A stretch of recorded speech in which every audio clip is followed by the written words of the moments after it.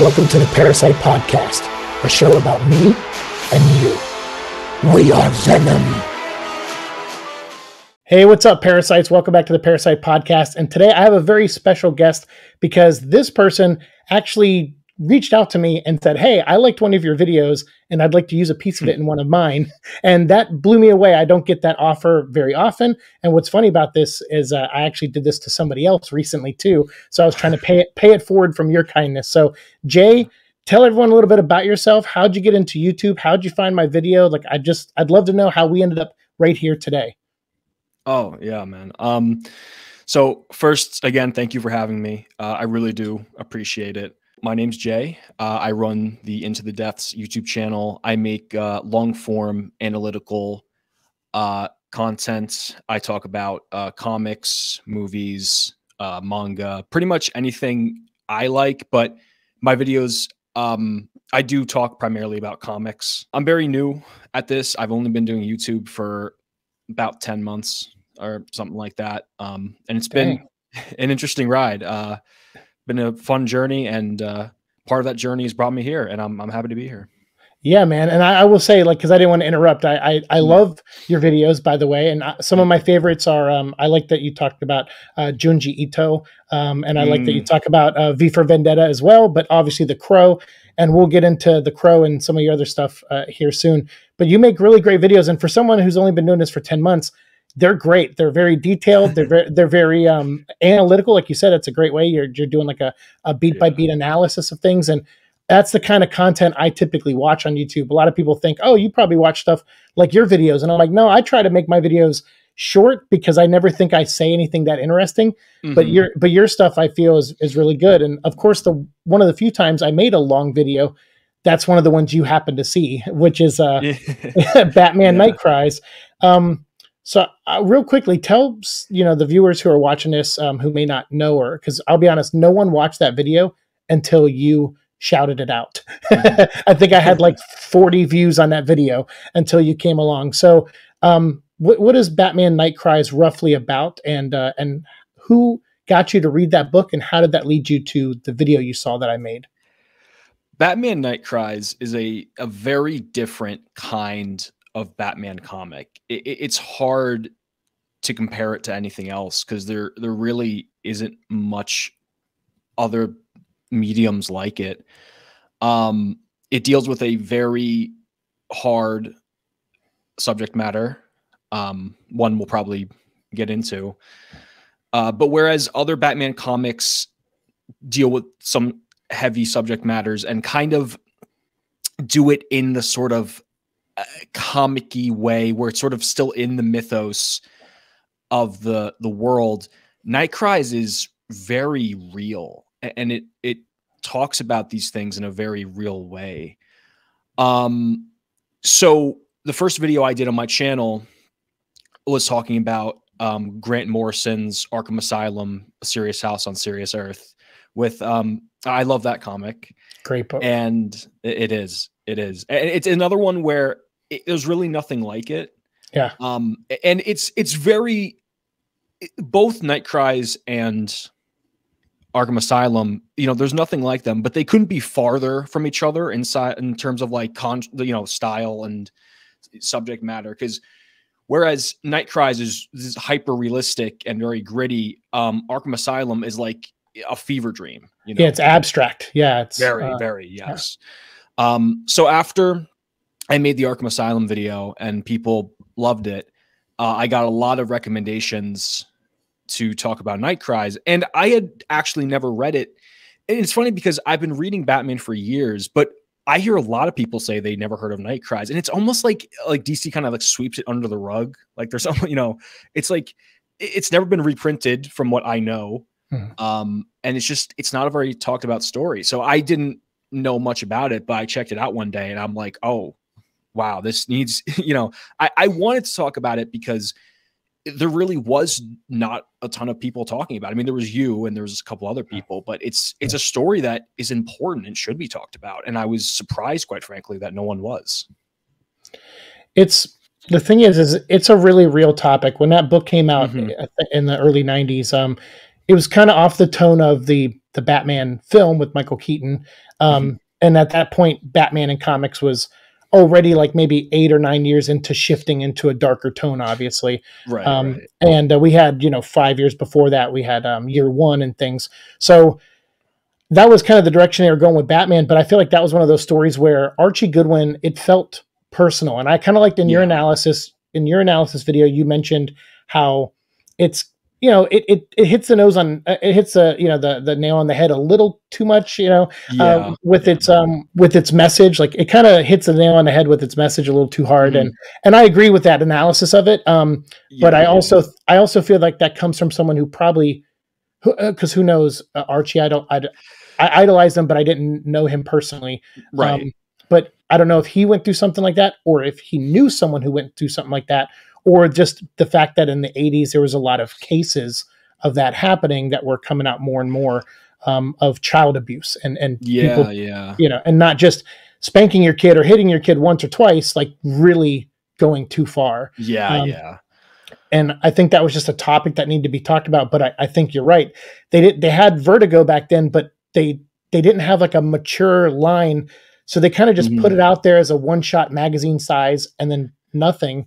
Um, and I don't remember a lot of press on it either. And and actually, the only reason I covered it on my show was because they did a re-release, I think, in digital form. Um, so they, they okay. uploaded it to Comixology and, and stuff yeah. like that um, in like higher res images. So as as far as I know, that was the only thing they did. So that's what led me to make the video. But I'm I'm interested that you had people saying, "Hey, make this, make this," because when I made mine, no one was asking for it, and I've made DC content oh, really? before, but no one ever mentioned it. And I said, "Why does no one talk about this book?" So I went online, found like five people that made videos on it, and I said, I'm going to make a video too.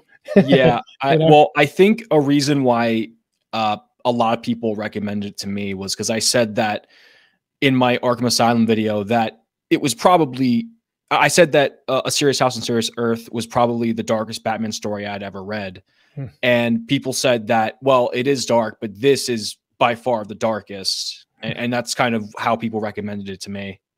Oh, interesting. Yeah, I mean, it, yeah. it is because it because of the subject matter. The I subject mean, matter. Yeah. I think anyone with a soul doesn't want to see bad things happen to kids, especially. Oh, yeah, yeah. So that book really it it's um it, it makes you uncomfortable reading it uh, mm-hmm. at point, at points, and uh, I've always heard that some of the best art and horror and fiction will have that effect on you. I know I know like Silent Hill, a lot of those guys were like, we push the envelope because we know it makes people unsettled.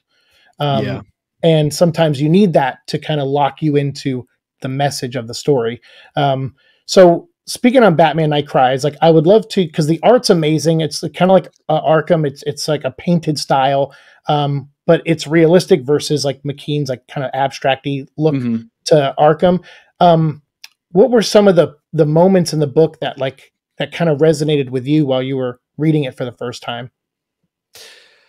Um, well, you know that's kind of the thing is i think the subject matter of the story of this just sort of like you know there's this big tone of like this just profound sadness mm-hmm. um that's happening i think in a certain way everyone can relate to that but a big reason why i actually reached out to you was because even though i could talk about night cries in an analytical sense I guess I I tried to approach it the way I did with the Crow comic, where I I tried sort of, um, and we'll talk about that, mm-hmm. you know, video later on. But I, I wanted to sort of say something a bit more profound, but it's one of those things where, you know, I've had my my hardships in life, but I was never abused myself from from family or for anyone. Now, when I saw your video and I saw, you know, your reaction and and your words, which I found very profound, I realized that I kind of have to, you know, roll my ego back a little bit and say I'm not equipped to talk about this, and that's why I felt it was important to include your words because I felt that you were someone who who did experience that, and I felt that there was no way I could put it better than than someone who's gone through it because I can only relate to it on a very, you know, rudimentary level. Um, and that's why I, I wanted to reach out to you in the first place. Well, I mean, eh, like I said, it meant a lot. And when I made the video, because mm-hmm. like I average maybe like you know 30 to 40 views per video roughly um, i deleted a bunch of videos years ago and it, it really screwed me up in the algorithm of youtube and mm-hmm. um, and i didn't realize i was you know that that was going to be the outcome of it so that video i knew a lot of people weren't going to watch it but i knew some of the people who watch all my stuff would see it and i, I guess i yeah. kind of wanted i wanted to give them a hint that about that kind of stuff because i don't talk about that you know my childhood mm-hmm. and everything and so I was like, well, this is a great gateway to talk about this subject. And then I feel like if anyone kind of sees my reaction to it, they're going to know uh, that yeah. I've I've been through something similar and in some instances exact uh, to that book. Um, so it's it was a hard book. I mean, I, I spent mm. years trying to build up to review it, and then when I saw the re-release, I just felt like it was a sign. You know, like yeah. I was like, okay, I'm going to talk about this, and it's going to be awful and hard and difficult, but I need to get through this. I had just left California and moved here to Florida when mm-hmm. that, when that when I made that video. Um, and the um, at the time I was actually diagnosed, misdiagnosed with um, early onset dementia. Uh, I, am a brain wow. aneurysm. I'm a brain aneurysm survivor. So mm-hmm. they just thought, oh, this is like a I'm forgetting like a couple days here and there. And at one point, I forgot an entire week of my life. And they they thought, okay, well, this could be that. Um, so we'll, you know, we'll monitor you and, you know, you should, you know, should start thinking about maybe having a caretaker or caregiver and move closer to home. And I was like, oh my God. Cause at that point I was, you know, 39 years old. So I was like, I feel like this is way too young to be going through this. And I'm sure everyone feels that way who goes through stuff. Um, so I, I moved back here. I moved over here and uh, to be kind of closer to family and stuff. And uh, turns out I was completely misdiagnosed and, and, we found out that it was something all in the, on the other side of the spectrum as far as that goes where i have a, a version of did called osdd1a so mm, which is okay. like a version of multiple personalities and it and they okay. tracked it back to this like this stuff that happened to me as a kid that re- resonates with mm. me in this book um, so that was the other big thing about reviewing this book was that it was it it opened a floodgate also um, yeah. Because I don't actually remember everything that happened, but that's the point of me, I guess, is that I'm not supposed to. Um, yeah, and a lot of people don't. Right, and exactly. From my understanding, that's a very common thing. Yeah, you you kind of shut it out. Um, mm-hmm. um, so anyway, so that that's why I kind of resonated with the book and uh, and why I thought it was a interesting book for Batman because it's it's right after year one and it's pretty much the first case according to the the words in the book, that Gordon is on as commissioner. Yeah, um, and that pairs very well with year one. Yeah, it's it's like it's like okay, Better so year two does. yeah, for sure, for sure. Uh, you're like okay, this is like a year one point five or something. It's like after yeah. he met the Joker, and then immediately after that or something. Um, yeah. So yeah, so I um, but I I thought the artwork was great. I thought the um the the the story itself, even though a little on the nose at times, but mm-hmm. the message is was most important and I, I, commend archie and it's one of the reasons why as a, a teenager i followed that guy's career and i wanted to so badly be just like archie goodwin uh, because to me he was the first one to kind of get out there in in my years of reading comics to talk about that subject yeah um it, it's a real shame because whenever i make a video so I, I love reading about the creative process mm-hmm. um yeah, I'm sure you can attest to this, but it's a miracle any comic or any movie or whatever gets made in general. It, it, really is. Um, so I love reading about how something comes together. And that's more or less when I decide to make a video. It's less about the the content of the comic or the the movie. It's more about the background and why, you know, what did the the director or the author have to say here. Um, and it's a shame with Night Cries that there's just not much background on it. And like you said, there was no real publicity. Like I found the closest thing I found was like a, a, a tiny interview with Archie Goodwin. he talks about it for like 10 seconds. And it's a shame because, like you said, I, I do feel like Archie must have had some kind of personal experience, whether it was him or not, because I don't think you could tell that kind of story genuinely or as genuine as it does feel in Night Cries without kind of going through that. So, you know, we'll never know. But um, yeah, I, I wish we knew more about how it came to be. It's clear that whatever happened Um, you know, how, however, Archie came to the decision to talk about this, it's clear that he felt it was important enough to cover it in in the way he did. Yeah, and to do it with a character like Batman is huge because mm-hmm. I've worked for these some of these companies before, and it's yeah. like uh, it's it's not easy to go like, hey, we want to do a a Spider-Man story where a, a, child is is dying from and they're at the Make a Wish and they want to meet Spider-Man, you mm-hmm. know, and and we or we want to do a abuse a child abuse story starring Batman. That is not an easy sell on a corporate level. Uh, you know, they're like, oh, you know. So when those stories, like you said, just getting a comic or a movie is a miracle. Getting one like this is is unheard of a lot of times. Um, and so yeah, unfortunately, and I, I, had the chance to meet meet Archie, but Oh. It happened. Pre- it happened pre-aneurysm, so I actually have no idea what we talked about. Um. I just have in my journal a picture of us, and then just me saying like, "Oh my God, I got to meet one of my heroes, and yeah. uh, and I want to be just like this guy." And I actually later on became an editor in comics and writer because of Archie Goodwin. And uh, unfortunately, he wasn't alive at that point when I made that transition career wise. But mm-hmm. um, but it's because of him. I, I 100% attribute it to to that man. Um, and so, uh, yeah, he's he's a great writer and he's a great editor. Because speaking of mm-hmm. year one, he that's what led him to editing Long Halloween, which is set kind of in that year one continuity. Yeah. Um, so he actually went on and said, you know what, my story is what it is. Night Cries is what it is. But Jeph Loeb, he's a rising star. This was years later, and, and he was like, let's go back to the year one world, and I want you to write Long Halloween. Um, so yeah, he's his that that part of him never left. I think he always had an affinity for that era of Batman uh, stories. Definitely. Um, yeah. But you were saying about creating things and, and the people behind it because Archie's had a great career, mm-hmm. but I want I want to use this too to transition into another creator who may or I mean he this one we know for sure went through a personal experience that led yeah. to a creation of his comic, which is James O'Barr in The Crow. Yes. Um, and I know for people listening, we're in we're in heavy territory here, but don't don't worry, we're gonna we're that's we're doing this for a reason. We're we're gonna get through the muck and uh, and talk about the inspirations yeah. from that, and then and bring you home after. So so if you're if you're being bummed out right now, please stay with us because uh, the Crow is is really close and near and dear to my heart. Certainly pre-aneurysm when I was a kid, and my mom mm. said it was my favorite movie. She said I saw it seven times in the theater. Um, and uh, and that I dressed like I had long hair. I had wore a trench coat to oh, school. Oh, yeah, and, yeah. You know, like she was like, "You were all into this. This is your favorite thing ever."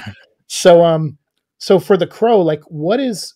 Let's talk about the creative process, like of James O'Barr. Yeah. What what did he go through that inspired you to want to talk about it in the detail you did on your video? And by the way, everyone, I'm going to put links to the videos of his uh, of uh, of Jay's here down below. So please it, click on each video, go check out his stuff, and subscribe to him.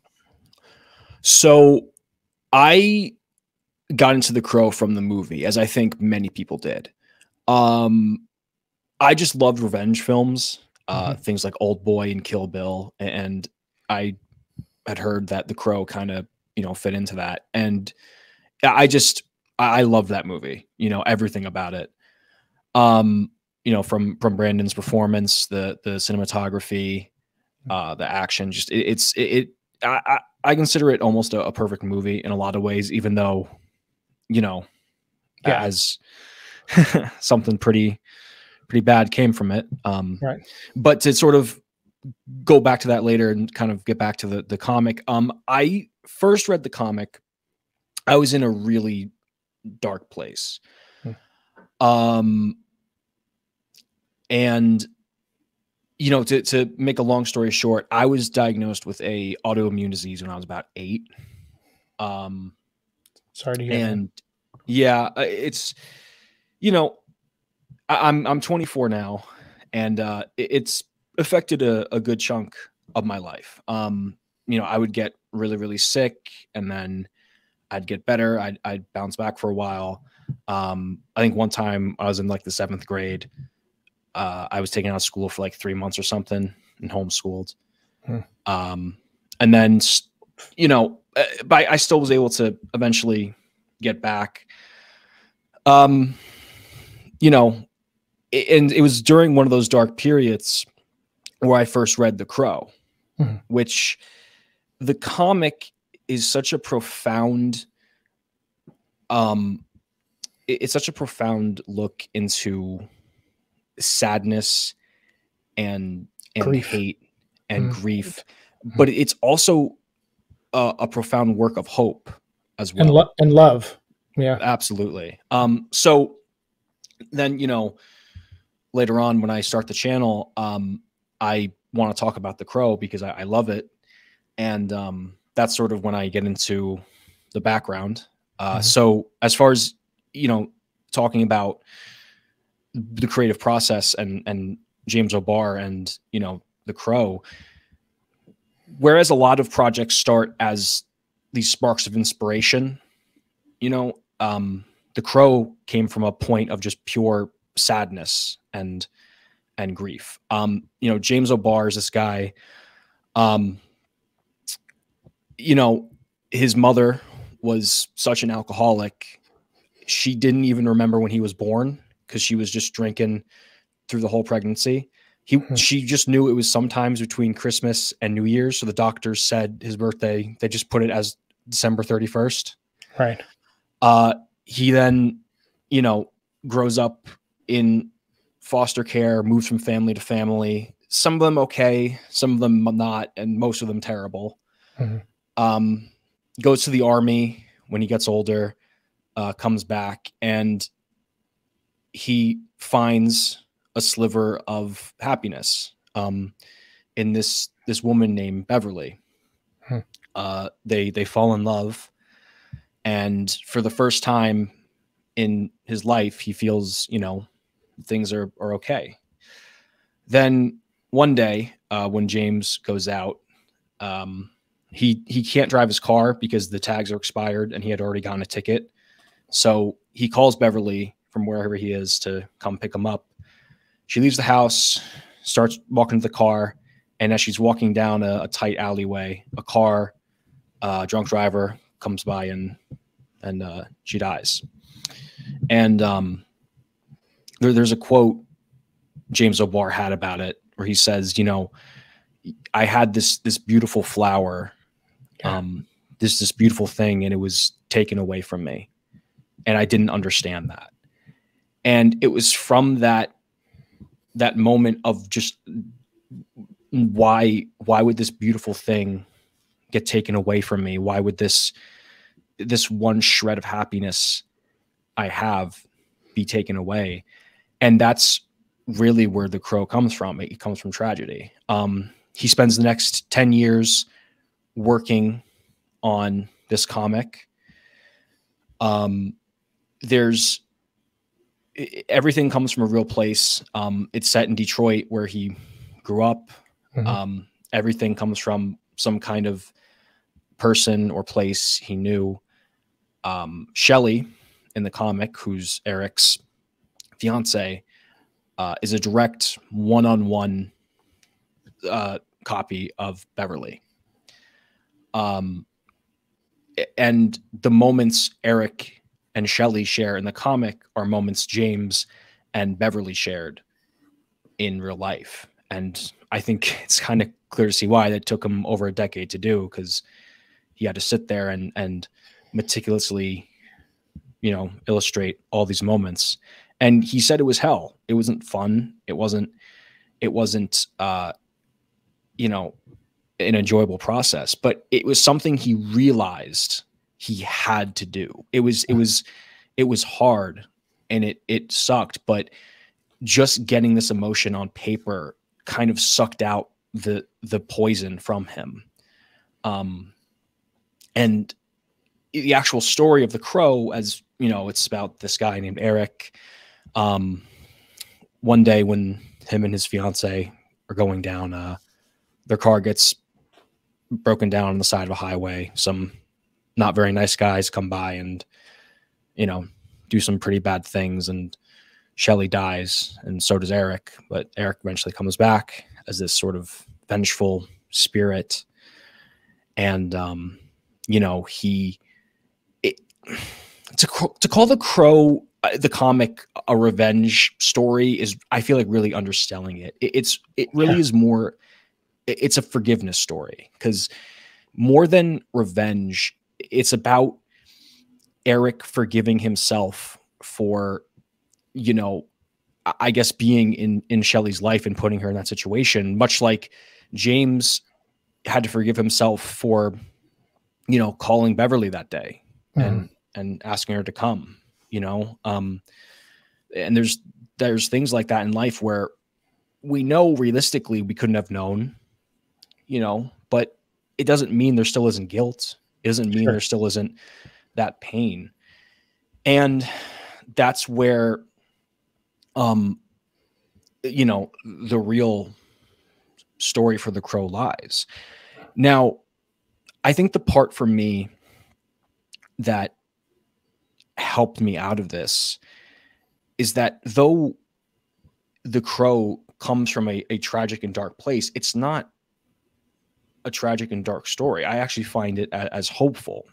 Hmm. it's saying that as ludicrous as ridiculous as it might seem to hold on to that whatever little shriver little sliver of of hope you have left through all the darkness um you have to.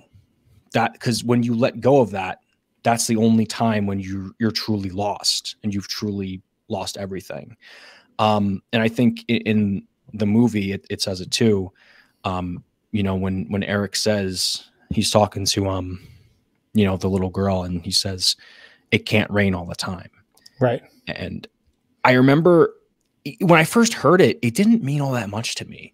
Sure. but when i was getting sick a lot as a kid and i'll tell you um a couple years ago 2021 2022 uh, my health kind of hit rock bottom and ended up getting about four surgeries back to back jeez um, and that's kind of why i started the youtube channel in the first place i just had a lot of free time I couldn't work, go to school, but I remember sitting in the hospital bed and just being depressed. But I remember like it was like a, a moniker. I just kept saying it can't rain all the time, which hmm. to me, I think it just means, you know, things are horrible now. That doesn't mean they can't just get a little bit better. And that just shiver, you know, small piece of, of hope is what you need. That's yeah, I mean, that's first of all, thanks for sharing. You know, yeah. some of these personal stories with us too, and um, and I mean, our, we are you and I mirror a lot. I I know what mm. it's like to wake up in a hospital and have to deal with what that means, and um, after surgeries and stuff. So um, I'm just glad we both end up meeting each other and and got brought together I, through these through these amazing stories, like like the crow, and like yeah, I mean, you know, um, I followed James O'Barr's career. I met him a few times mm-hmm. as well, and and he's um music was a big inspiration too and i think bef- before him it's according to my mom anyway she's like you liked music i was a big prince fan as a kid she said mm-hmm. um which makes sense he also did the batman soundtrack the first one so i was like oh yeah, yeah, yeah. that makes sense uh, but she said uh, the crow opened your eyes to a, a different style of music and she said and then you just got really into grunge and rock, you know, and, and all these other different styles of of music, uh, even hip hop and rap, and and she yeah, was like, she was like, you got into a lot of stuff because you heard James O'Barr talk about music and how mm-hmm. Iggy Iggy Pop inspired him, and all these you know great, yeah, yeah, great, yeah. great musicians, and and uh, and that is to me like um, and it's you know that's one positive to take away is music, like you know. Crow, the crow and stuff like this like did did for you where mm-hmm. music music saved me from going down a spiral you know mm. uh, a negative spiral and uh and yeah. but by hearing musicians talk about their pain and sing about their hope and sing about their passions kind of showed me that like james O'Barr did to you mm-hmm. having this like uh you know, having this art form is a way to process and get through some of the most difficult things in your life yeah. you yeah. know um and then you finding YouTube, same thing. Like YouTube became therapeutic for me and helped mm-hmm. me through stuff. It helped me after my aneurysm. I, I, had trouble talking, so I joined a podcast like a year later to get into the rhythm of talking a lot.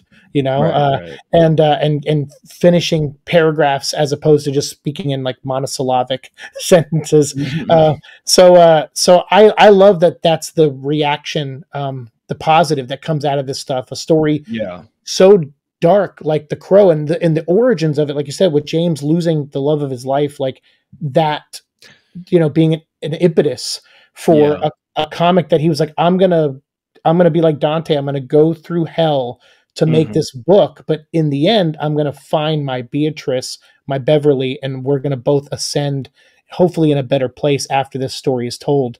And uh, and I hope that's the the the ending, you know, for James O'Barr. I know he probably sees that franchise as like a both a, a, a genuine relief and a curse in some way because obviously Yeah. then then the film, you know, he made friends with Brandon and then Brandon's taken away. Yeah. Um, and I can't imagine what what that would do to anyone. Um, but I know that he hasn't given up on art at No, least, and he still yeah. puts stuff out from time to time, and he's still amazing. And uh, and I and I love the crow. Re- reading it is like it's so cool because there's like just splash pages of poetry in there. Um, yes. You know and song lyrics and and there's just like great beautiful drawings of horses you know it's like Mhm. all these things that you're just like wow the, the contrast is uh Yeah. I'm- the, I remember- symbolism too is just so Oh, beautiful. it's so good i mean there's Yeah. so yeah and you said about hope and positivity the movie Mm. does a really great job at that because Yeah. you know brandon he he sucks the morphine out of uh, sherry's mom right Mhm. um and or is it Sh- no sherry is it, uh, who's the Uh, little it girl? was it was Sarah, Sarah, that's it. Sarah, Sarah, her, name, her name's Sarah. Um, and so in Sarah, he, you know, he um, gets her mom to spit out the morphine. He Mhm. get then her and her mom, you know, Sarah and her mom have a chance to have a, a funny. They make each other laugh at breakfast. yeah. So there's there's hope. Like they were they were going down a spiral, um, and and then Eric pulls them out of it. Um, Officer Albrecht, uh, he Yeah. comes out a better person at the end. He was someone who was a good man but spiraling and uh, and on the verge of on the verge of tipping until he saw Eric Draven again. And uh, I loved all of that, and and what he kept up in his mind being the the thing that Eric used to win the day. You know, Mhm. like uh, you know, to being there by Shelley's side for him, like just really cool that movie uh, how how thematically everything comes back together um even in some ways better than the comic. I mean the comic does some things better but the Mhm. movie the movie did some things better too and I, that's why i think that movie resonates with with people when they watch it is uh it's just cool. It's rock and roll but it's like there's a love story there and there's hope Yeah, you know and there's revenge. It's got a lot of things in it um for sure. Um what, what, any last th- thoughts on the crow? I mean I, I know there's been sequels but I don't really like talking about the sequels. Uh, I, I I like talking about the second one because there was a there's an original cut of that that is really good that Mhm. you know the world needs to see. I feel, um, but uh, you know, so release the Pope cut, I guess. Uh, but Uh. uh, but yeah, I know I don't want to go through that. Uh, but still, um, know the other ones are just kind of forgettable. But uh, that's great that like you know that that book meant so much to you, and, and I'm sorry. Yeah. I'm just sorry. Like, and I always say this to folks, and people always go, "Why? Why are you saying you're sorry? You have nothing to do with my health, nothing." You know, and I go, No, Yeah, but- but I feel like someone has to apologize. so, so I just take the role of apologizer and just say, like, "I'm, I'm sorry you went through that, but I'm, I'm glad to see you still on your feet and still, and you make great content, man. You really do." Thank you, thank you. Uh, I'm. I mean, I'm very new at this. I'm still trying to figure it out. I, I'm. I'm a very like hypercritical person of myself. So I. I, I always. I'm never happy with anything I make, but other people are, and that's what's important.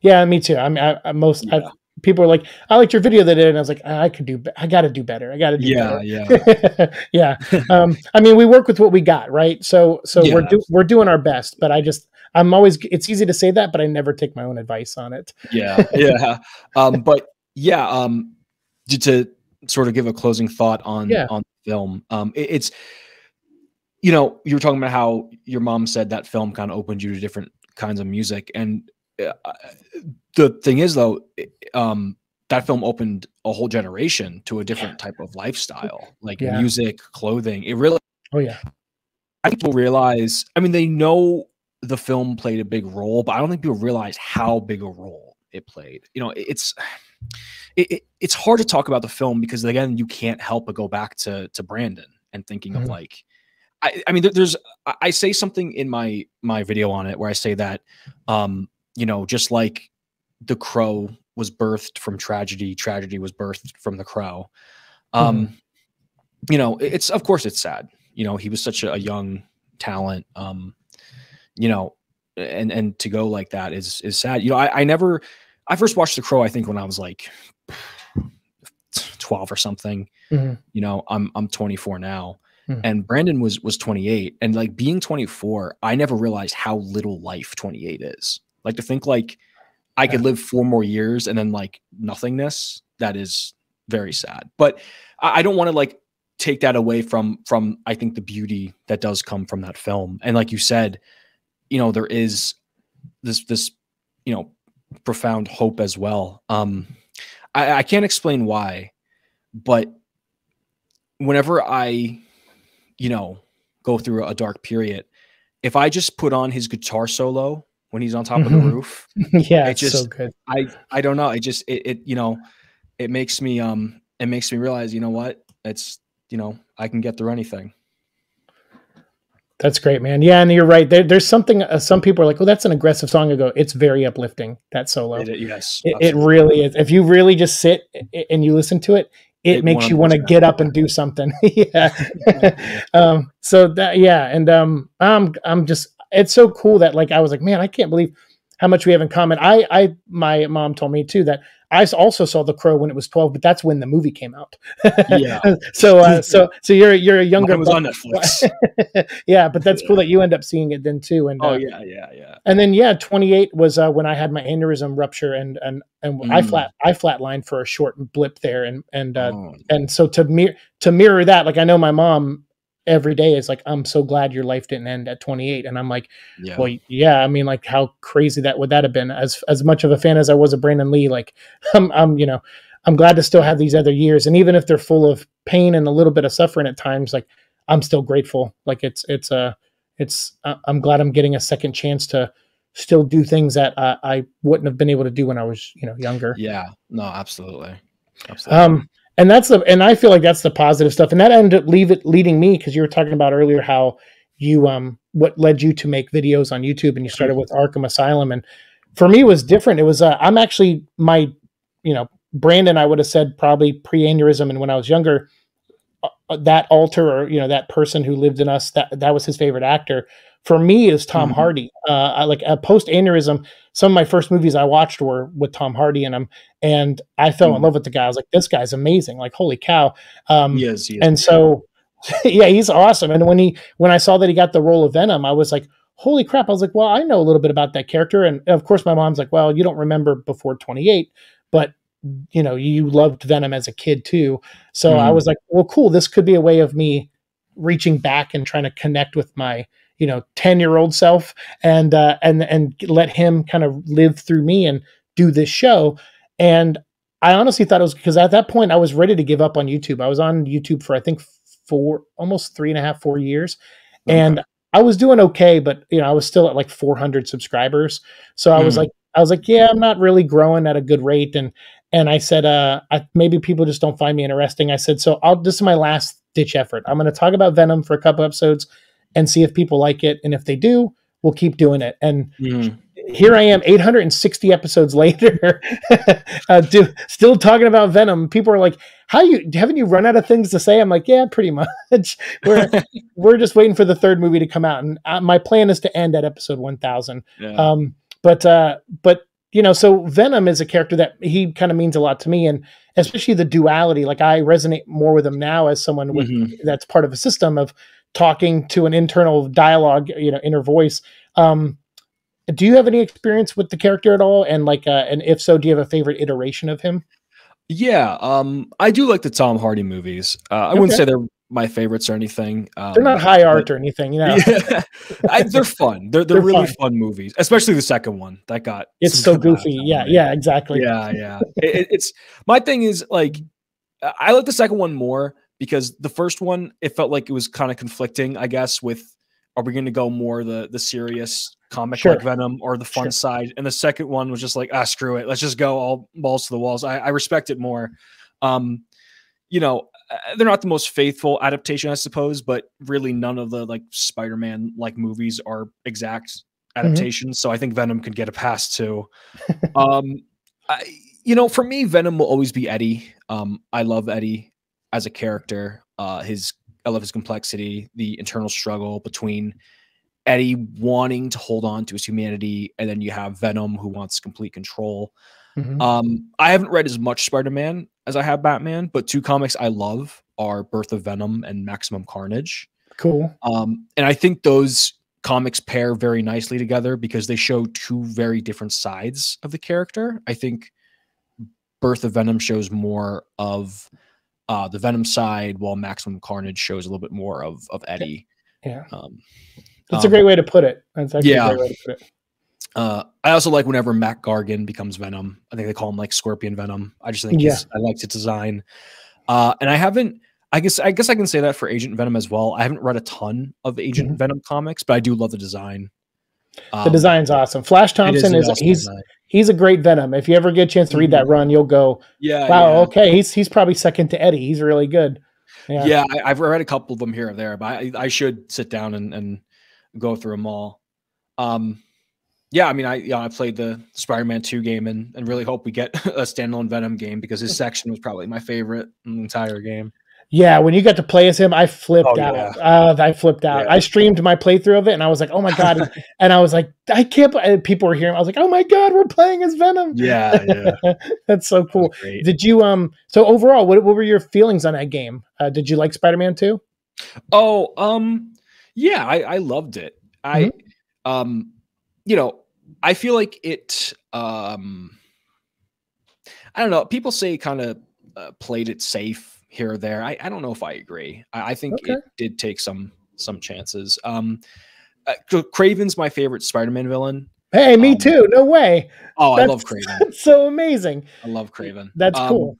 Yeah, I, I so of course having him in uh was a lot of fun. Yeah. You know, different Kraven, I guess. You know, he's sort of like this almost like cult leader in a way. Yeah, he's got to have goons in a video game, yeah, but, yeah. but he still Uh, he represented. He was a good Kraven, though. I felt like a good. No, no, yeah, yeah. He was a great Kraven. And it, again, that like the last uh the section with with when you're Venom and fighting Kraven, that was I think the highlight for me. I think the highlight. Um no, I I I loved the game. I thought it uh gameplay wise, like movement wise, uh Mhm. it- it's so like I- in the first game I would just boot it up and do nothing else but swing around Okay. and just because it's just it's so fun to swing around in these games sure, oh, yeah, it and is. Definitely. for for Venom 2 or for Venom 2 for uh, Spider-Man 2 Mhm. I, I'm gonna be doing that as well it's just the movement's fun the combat no I, I love the game yeah Yeah, I hope uh, whatever the Venom thing they do or the DLC, whatever. I hope they pay Yeah. off pay off that that side story with um with uh with Cletus, um the flame. yeah yeah Um, yeah. that would be cool if that's kind of how that story wraps up. Because people are like, "Oh, he's got to come back for the third game," and I'm like, "I don't want symbiotes in the third game." Uh, I know I'm the Hmm. Venom vlog, and I talk about symbiotes every time, but I don't want the I don't want symbiotes in the third game. I want the third game to be about you know Norman Osborn, wrap up the story with um, Yeah. Doc Ock, and maybe put the Chameleon in there. And I that's what I uh, wrap. I was about to say they because they also uh hint at the the chameleon as well which is actually my my second favorite uh Spider-Man villain Are we um are are you going to go see the Kraven movie when it comes out? Ah, I mean I'm divided because it's like I, I love the character and the casting's not terrible. I think Aaron Taylor Johnson's a great actor, but I, I like uh, you know I love Aaron Taylor Yeah. Johnson um I I loved uh Kick Ass yeah, Um, and I, I thought he did great in it. I mean, maybe yeah, I, I don't know I'm buying a ticket, but I'll, I'll see it eventually. yeah. That's one of those where I feel like if my friend invites me, I'll, and I'm like, "Oh, you buying tickets? Okay, I'll go." Um, yeah, yeah, I uh, yeah, because I didn't see Morbius in the theater, and everyone's like, "Dude, you're the Venom vlog. You you got to see all the Sony stuff." I'm like, "No, I don't, man. I, I don't have a contract with anybody." Uh, I'm, I'm the Venom guy, not the Sony guy. exactly. Yeah, exactly. Uh, well, I tried it for a minute there when I heard they were going to do a shared universe. I was Uh-huh. like, okay, maybe we'll explore some of these other characters. And I made like two Morbius videos, and I didn't even watch them. you know, so I was like, yeah, some of these characters aren't interesting uh, enough to do videos on. Um, but Kraven, we're going to do a whole series leading up to the movie. I'm going to do a whole uh, on the Venom vlog. Uh, the you know the Kraven's last hunt, Kraven's Oh, first that'd be great. you know. Kraven's first appearance, Soul of the Hunter, um, and his resurrection. Uh, I'm going to talk about all those books yeah, coming up. I, I, I want to talk at some point. I'm going to cover Kraven's Last Hunt. Uh, dude, I can't. Wait. When you make that video, I'm going to be there waiting. Yeah, yeah, Uh, uh, so that's uh, but that's cool that like I don't know. Th- th- there's a lot of positivity out of like this stuff. I know some of these, like we talked about earlier, with Night Cries, heavy Mhm. subject matter, uh, the Crow, heavy origins that led to the creation of the comics. But Mhm. There is, unfortunately, that's that's life where there's like this this nugget and a big chunk of tragedy and and, and grief and, and awfulness, and then there's almost an equal amount of positivity that can come from it. Um, Yeah.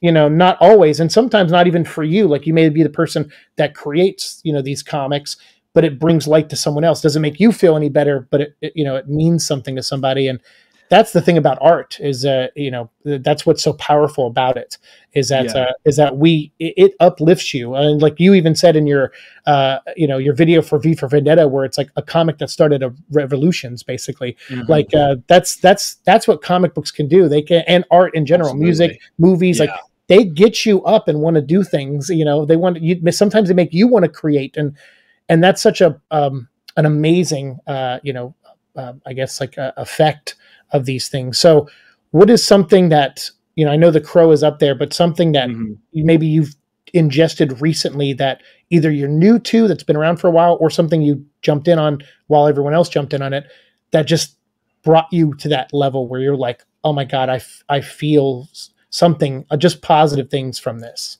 if you have anything Oh man, so um, I love horror. Um, Okay. Movies, games, comics, everything. Um, and I've never been like a huge manga reader. okay Um, my friends got me into it like a couple of years ago, and I that's when I got into Junji Ito.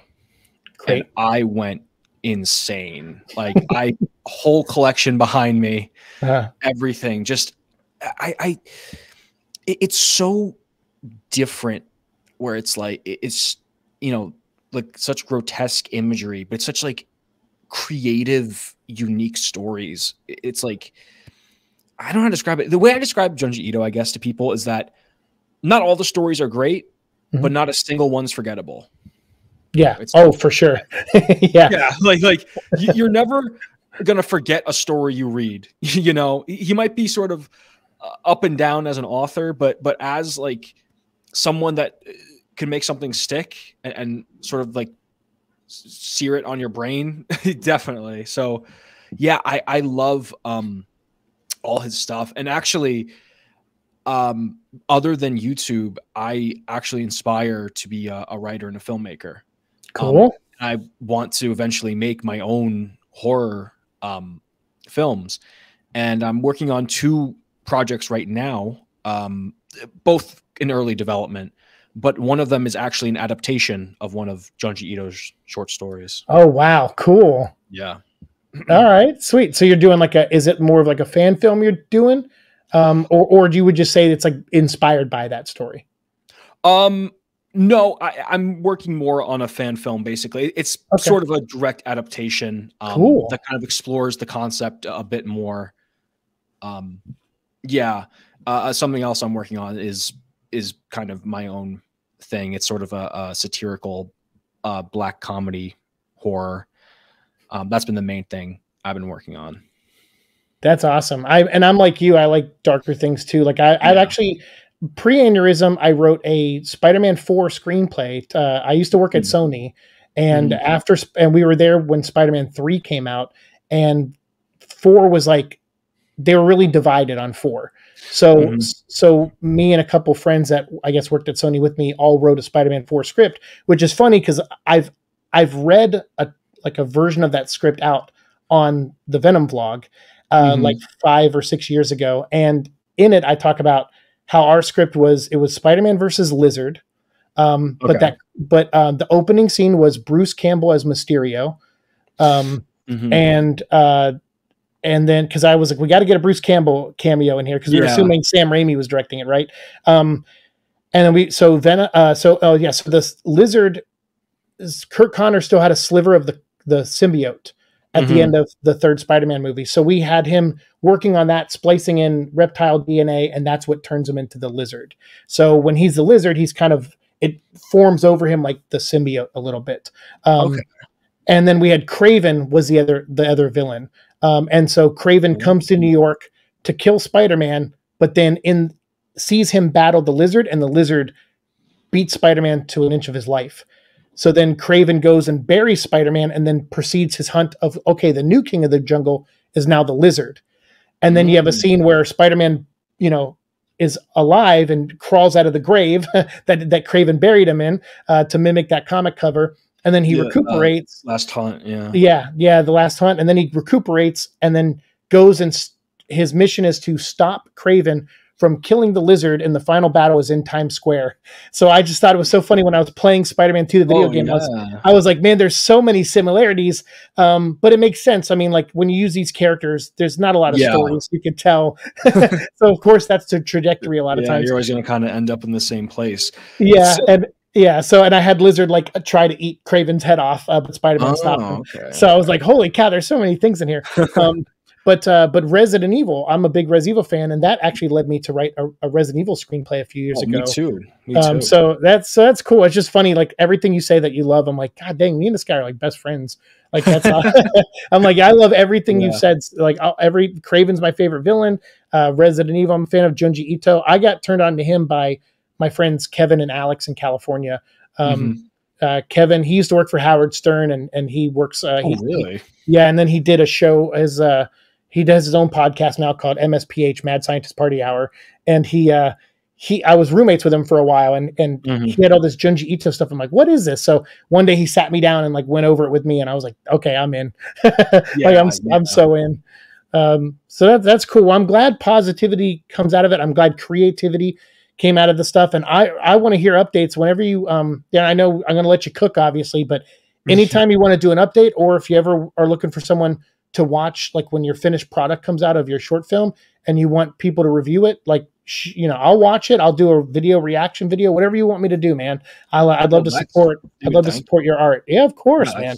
Thank you, man. That's you're great. very welcome. And um you know i want to end on that note because it's I Mhm. feel good. I feel good now. We started off in Yes. the muck, yeah, and I'm Yes. like, oh, we're talking about creating now, and uh, that's that's awesome. So I'm, I'm glad you're at that point in your life. But no, sorry, inter- I didn't mean to interrupt. Go ahead. No, no, no. Um, no, I was saying we, we, you know, we, we got through the rain and, yeah, and, and we're here. We're here. Um, you know, it's there's a lot of similarities between us, and I that's kind of what you were saying earlier to sort of the power of comics and Mhm. art in general. That two, you know, uh, the both of us sort of living very similar lives, similar interests, and somehow found each other from this this one comic that you know not many people talked about and i think to that just holds the power of of storytelling and really shows how powerful this thing can be I agree. My mom, she would tell me like, um, she's like, when you were a kid, she's like, my mom's just like, she's like, one of my favorite things about you, and she goes, and I don't know where you get it from because she's the opposite. She she would say, but she'd go, you're not a gatekeeper. And she's like, ever since you were a kid, if you were into video games, comics, like you eh, movies, you were into all of it, music, yeah all you wanted was more people to like it. So you would be like, hey, read this so we could talk about it, you know, and watch this yeah, so we can talk yeah. about it. She's like, you were like a recruiter for all that stuff. And, uh, and she's like, she's like to the point where companies should have paid you. she's like, because Yeah, you would yeah. just talk to strangers sitting on a bench, you know, just walk up to a kid in a, a Batman shirt and go, "Hey, have you read this Batman comic?" And you know, so I think people who have that mentality, it sounds like you do too. It's like Mhm. we we just want to find more people like us because Yeah. we know there's a lot of us out there. you know, no absolutely Yeah. uh, and that's that's why I, I like to talk about comics or or movies or whatever that aren't haven't been heavily talked about or kind of like unknown or or maybe like kind of cult movies because you know I, I again like you said I love sharing things I like you know Yeah. um it's it's I have this weird thing where like I get like mad if someone hasn't watched something I watched I'm like there's no reason for this it's dumb but like how can you not watch something so amazing you know? I get that. I um yeah Uh, so then I have a recommendation for you before we we end Mhm. this. Uh, it, hopefully you haven't heard of this book because I would love to blow your mind on it. Um, there uh, in the late '90s, there was a book, uh, a company called Cliffhanger, uh, that Mhm. used to put out these uh, you know kind of cheesy comics. But that's where like J. Scott Campbell and some of these other artists fr- came from. Humberto Ramos. Um, Okay. So uh, there's a book that Humberto Ramos and Brian Augustyn created called Crimson, and Okay. it lasted like 24 issues, so it ran for two years. Um, Humberto Ramos drew the whole thing. It was his concept, his idea, and it's basically about a kid named Alex Elder who is I guess, the chosen one to decide whether heaven or hell wins the battle between heaven and hell. Mm. Uh, but then in the first issue, he gets bit by a vampire, um, and vampires work for hell. So Oh. he's uh, so he's now like there's you know a lean that he might end up destroying the world instead of saving it. So uh, so archangels come down, you know, riding dragons, and it's it's a wild fantasy supernatural kind of kind of book, but um, but it has a little bit of crow in there, has a little bit of uh, some of the stuff that we've talked about here on the show. So if you get a chance, uh, Boom Studios a couple years ago put them out in hardcover. So so I think the digitals still exist if the hardcovers don't, but yeah, pick, pick them up, and I'd love to just pick up the first one. I'd love to hear what you think of it whenever you get a chance. Obviously, no rush, but Okay, well, Yeah. I, you're right. I, I have not heard of it, so I will definitely, uh, I'll definitely check it out. Um, it's funny it has vampire because I actually before I, I hopped on the podcast, I was actually rereading uh, Batman Red Rain, oh, great book. which is Batman versus uh, Dracula. It is Yeah. a great book. It Uh, is. the, the animated movie is awesome too. By the way, it's not based on that comic, but uh, Mhm. The Batman versus Dracula. Um, there was a, a early 2000s. There was a Batman cartoon just called The Batman, and Yeah, most most people didn't like it because it was yeah, and most people didn't like it because it was like a tech Batman. But I love Yeah, that yeah. cart. I love that cartoon so much, and the Batman versus Dracula movie is amazing. It's way better than it should be. It's so good. Mm, yeah, I, I've uh, I, I like that Batman too. Yeah. Um, but to, I one of my favorite shows of all time is the animated series. Of course, Just gold, gold Untouchable. Uh, yeah, I like. I really do think that's like. I, I like. I call it Batman perfected. Where like, if you want a perfect iteration of Batman, th- right there, like you're, you're never gonna get anything better. it's so good. That, that show had such a profound impact on me that even after my Mm-hmm. aneurysm, my dog who had recently passed away, um, I named him Ace after Ace the Bat Hound.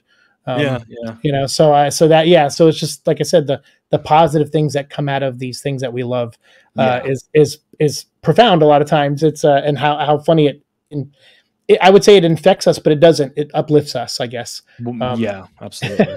Well, is there any Jay? Is there any last uh, uh you know? Is there any places that people can find you online outside your YouTube channel? Because I know you have your main YouTube channel and your live channel now. So I'm going to Yeah. put a link to both of those down below. But anywhere else that you could plug that people can find you?